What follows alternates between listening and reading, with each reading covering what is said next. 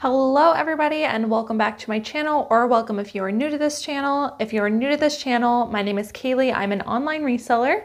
I go to thrift stores and I buy items to resell on sites like eBay and Poshmark. And on my channel, I talk about how you can do the same. Every week I like to come on and share what sold from the previous week on all of the platforms that I'm selling on. Currently I sell on eBay, Poshmark, and Mercari, although I will tell you that I am sliding away from Mercari, so I'm mainly going to be focusing on eBay and Poshmark, but I'll be talking about sales on all three of those platforms today. I will also show you a few of my highlighted sales. I've gathered a couple um, that I thought were worth noting and just talk about why I picked them up and why I think I sold for what they did. Don't worry, I did include cost of goods today. I wasn't going to say this on this video, but I'm frustrated, so I'm just going to get it out there. In my last What Sold video, I was running short on time, so I did not include cost of goods, and a lot of people left comments or sent me messages about that. What's funny about that is, is that every other What Sold video I do include cost of goods, but people were really perturbed by the fact that I did not include cost of goods in my video. First of all, these videos take a ton of time to make um, and calculating cost of goods from every single platform does take a lot of calculation on my part and I really just did not have the time and I would rather get a video up and not include cost of goods than not get um, a what sold video done at all. But besides that, I am mostly just frustrated because I don't know why it is so necessary for everyone watching these videos to know my cost of goods. People also mentioned fees or how much I pay in supplies. I'm gonna keep this rant short, but if you need to see my cost of goods, my fees, my shipping costs, my rent that I pay for this building in order to run your business, then you're not doing it right. You really need to know your numbers, what you're comfortable with. My cost of goods should not matter to you. Some people want to argue that newer people watching this channel won't understand the realities of reselling. The truth is, my reality might not be their reality when they start reselling. So just to make it clear, everybody does have different costs in their business. My costs might not be the same as yours. My point of sharing these videos is if you are able to do exactly my method or even somewhat close to my method, then you might be able to get the same numbers that I am. If you're not able to do that, what you can take away from these videos is what I'm selling on which platform, what sells best on which platform, my goal with these videos is really to talk about why I'm picking up the items that I do and why I think they sold for that much or how quickly they sold. Really, really frustrates me that I got so many nasty messages because I did not include cost of goods in a video.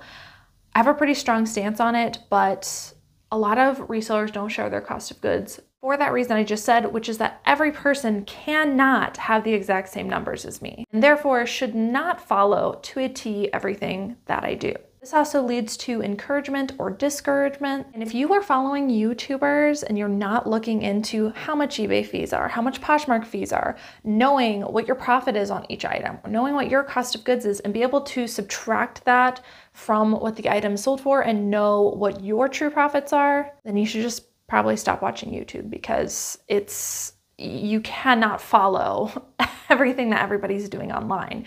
You have to know your own numbers. That rant lasted longer than I expected, um, but I had to get that off my chest because I was super frustrated with some of the messages that I got.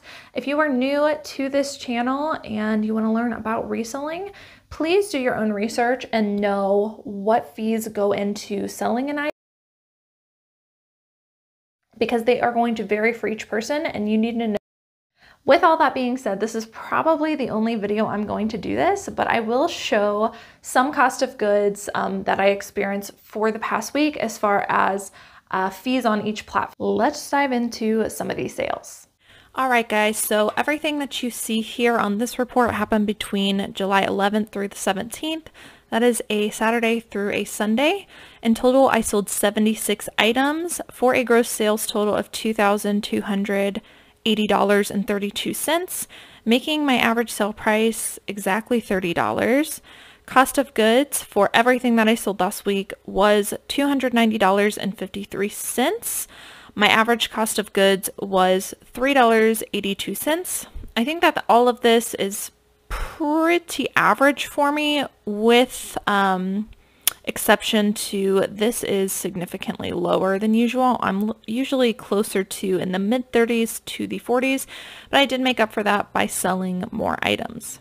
And just because I got so many questions about it last week, I did pull um, right here on my seller dashboard. My selling costs for this time period was a total of $472.08 on eBay. Um, and that does include shipping labels, which were $218.16. You can see the total cost of breakdowns. You can see there's so much that goes into um, all of the eBay fees. Um, this one actually included my subscription fee. So that is where we are at on eBay fees. Um, if you wanted to calculate Poshmark fees, Poshmark's fees are 20% of your gross sales. By the way, um, shipping is basically a wash on Poshmark, meaning the buyer pays for it unless you offer a discounted rate. So it's just 20% off of um, however much you sold. So 0.2 times gross sales of $864 would be Poshmark fees equating to $172.80. Um, again, this is stuff that as a reseller, you need to know your own numbers, and all of this information is available on eBay, on Poshmark, on Mercari, on Depop, whatever platform you're selling on, you can go look up what the fees are before you start selling. And I highly recommend that you do because I think it's important to know the fees before you even start sourcing. On eBay, I sold 43 items. On Poshmark, I sold 30. And on Mercari, I just sold three. On eBay, I sold a gross sales amount of 1,300-ish dollars. On Poshmark, just over 860 and on Mercari, $85. I do want to say, as I mentioned before, that I am slowing down on Mercari. Basically, I have stopped listing any new items on Mercari and we are just allowing what's already on there to sell since we already did the work. Other than that, it's just sitting there. So it's not costing me any money to list items on there, um, but it would cost me in fees if items did sell. Um, and that is the only reason I am leaving items on Mercari is because we've already put in the work. Um, but moving forward, I'm going to focus all of my energy onto eBay and Poshmark. Um, and potentially maybe just eBay, but right now I like having a safeguard of Poshmark just in case something were to happen on eBay. Um, but I am starting to eliminate other platforms besides eBay and Poshmark, just so you guys know where I'm at in my business. Okay, moving on to some highlighted sales. This is an item I've actually had for a little while, um, but it is sort of a niche item. So it is a vintage Guess crop denim jacket. Um, vintage Guess stuff, I wanted to pull this up because vintage Guess stuff with question mark logos can do extremely well. There is some new age stuff that does include this logo because it was so popular. Um, but the vintage stuff with these question marks, especially the back patch on the jeans, can do very well. So I picked this up. I have been sitting on this. This was by no means a quick flip, um, but it did sell for a good price. I originally paid $5 for this. It did sell at my full asking price of $49.99. Next is this Nike Women's Zoom Mariah Flyknit Racer running shoes. Um, you can find out all that information as far as the style name goes by searching this number right here, this AA0521-300 on both shoes, Nike shoes and Nike clothing, this style number is on the tag. So if you find that, you can Google search it and figure out the exact name. So these were in pretty decent condition. Anything with this Flyknit material, I always look into as long as the rest of the shoe looks good because this does add value to Nike shoes. It's definitely a bolo. These ones were a larger size in a size 10. I originally had them listed for $59.91 and they sold on an offer for $53.92. Next is this Merrell Men's Pro Shell Gore-Tex lightweight jacket. I find that Merrell men's jackets do extremely well. Um, I've sold a couple of them this year and they usually sell for quite a bit of money. I actually paid up for this. I paid $20 for it, but I knew that it was going to flip quickly because of the Gore-Tex. This one ended up selling for my full asking price of $59.94. These are a pair of Vionics. Vionics retail for a lot and sometimes can resell for a lot as well. These had a little bit of wear on the soles, but in otherwise excellent condition, and they were that um, snakeskin leather look. These did sell for my full asking price of $34.94. This is one of the t-shirts that I distressed in the Distressed Concert Tees video. I like to pick up new age uh, concert tees at the bins and then I find that distressing them actually adds value. Plus it can be a fun little project. So I believe I picked this up at the bins, probably less than a dollar. We took some scissors to it and it did end up selling at full asking price for $19.95. Had it not been distressed, this is probably like a $10 t-shirt. So if you've got any new age band tees that are just sitting for you, maybe try distressing them and getting them re-uploaded and make sure to include distress. Also make sure not to take any scissors to ones that are truly vintage. This is a brand I don't find all the time, but I do love picking up when I come across it. It is Standard by James Perse. Has a really great sell-through rate. This one was a Supima cotton crew neck used t-shirt and it's sold on an offer for $26.97, which is an amazing price for a pre-owned t-shirt. If you come across this in men's or women's, highly, highly recommend picking it up.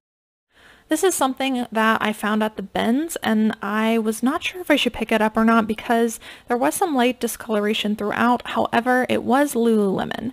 I decided since they were so lightweight, I probably paid less than a dollar for the two of them. And because they were Lululemon and because they were the exact same size, that I would go ahead and pick them up and list them as a set. They sold extremely quickly.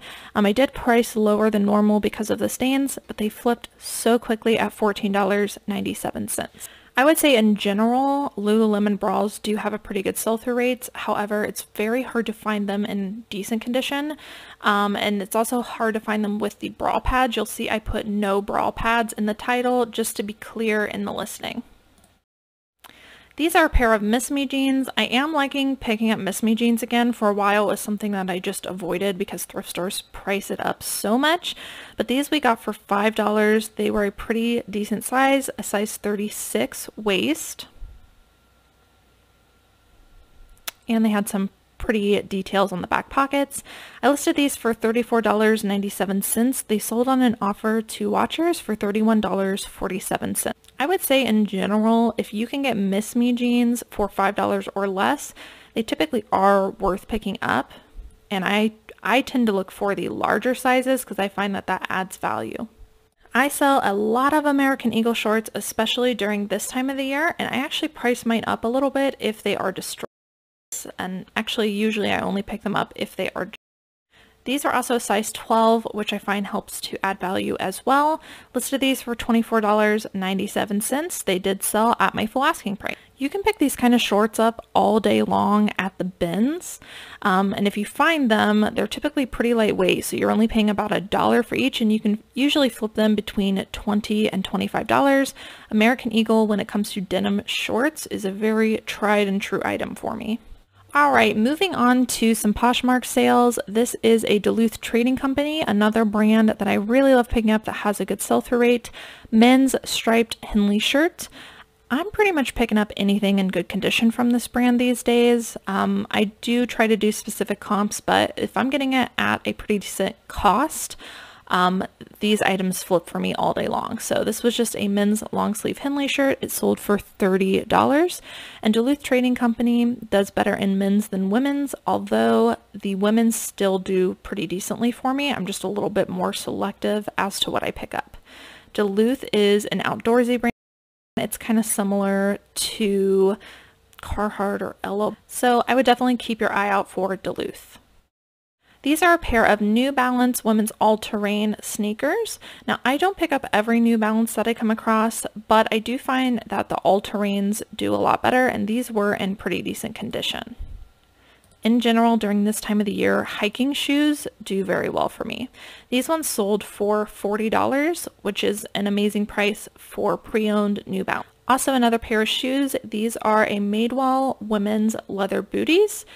I find that Madewell leather shoes do pretty well. They're not always the quickest flip, but they do bring in good profits. This one was called the Regan Booty and it sold for $34 per usual, I'm selling a lot of Torrid. If you guys have not looked up Torrid comps, make sure to do that, especially on eBay where you can quickly check the sell-through rate because sell-through rate for most women's tops is not worth picking up and I usually actually avoid the top section. However, Torrid has a really amazing sell-through rate when it comes to tops. So definitely keep your eye out for Torrid pieces, not just in tops, um, but if you do come across Torrid tops, they do have a really good sell-through rate, and this one sold for $27. This is by the brand Equipment Femme. This brand retails for a lot, but does not always have the best sell-through rate when it comes to resale. However, this was a 100% cashmere sweater. And so that definitely upped the value for me. This was also a nice tan color and a modern v-neck. This sold for $42, so amazing profits on certain cashmere pieces when they're paired with higher retailing brands like Equipment Femme. Another sweater that sold for me was this Aran Woolen Mill sweater. I always look for super thick wool all over cable knit detail sweaters. You can see I usually put the uh, word keyword fisherman in the title. That is a great keyword to use if you've got um, something like this. The brand is Aran or Aaron, I'm not really sure how to pronounce it, but when I see these thick sweaters that are made in Ireland, um, typically I'm picking them up regardless of and they usually sell for at least 40 to 50 dollars this one in particular I think was um, a more special color and so we priced it up and it sold for 80 dollars another high grossing brand for me is the brand Barbour. This tends to have a pretty decent sell-through rate and if you get in outerwear is incredible. This one was called the Langley jacket and as you can see it is waterproof. This brand does extremely well in a lot of things but sweaters and jackets I find produce the most profit. This one sold for $100 and we are not even into fall or winter. This is something that I picked up for style. I'm not going to lie, it did take a few more months than I would have liked for it to sell, but it was new tags and I just loved the style of this. To me, it was very cottagecore with the bright multicolor and kind of the grandma inspired along with it. Um, so I put the word cottagecore in the title, had a pretty decent amount of interest, and it did end up selling for $39. Another brand I absolutely love picking up in terms of a decent sell-through rate is the brand Kühl. This is another outdoorsy brand. This one was a size extra large. We found this at the bins. It was a men's fleece pullover zip jacket. All their outerwear stuff does extremely well for me. I like picking it up in both men's and women's, but as usual, the men's usually does better. This one sold very quickly at $35. And a couple of the Mercari sales that I had was this Nightmare Before Christmas women's scrub top. Now, I'm not selling a whole lot of scrub tops, but we found this at the bins and it was um, Nightmare Before Christmas themed. Certain shows, certain Disney movies can do really well regardless of brand. This one actually was branded Disney Nightmare Before Christmas and this um, movie franchise does extremely well. So I usually look up stuff with it. I sold shirts, I sold um, blankets. So keep your eye out for that. You definitely want to do specific comps, um, but scrub tops themed this way do tend to do well. This one sold pretty quickly at $24 with free shipping. Another item I sold was this, the Sak women's leather handbag. I really like picking up the brand The Sak, um, especially in leather. Here is the um, logo. This one was in pretty decent condition. Again, I try to stick to the 100% leather bags. This one sold on an offer for $32 with free shipping. All right, guys, so that's it for the What Sold video. I hope that you guys enjoyed watching. Drop a comment down below. Let me know if your sales are picking back up now that we are moving kind of towards the end of summer and back into a back to school time. I am starting to see sales pick up a little bit. If you're not already subscribed and you would like to be notified when new content goes live, don't forget to hit the subscribe button as well as the notification bell. That way it alerts you when I make new content. As always, thank you guys so much for watching and I will see you in the next video.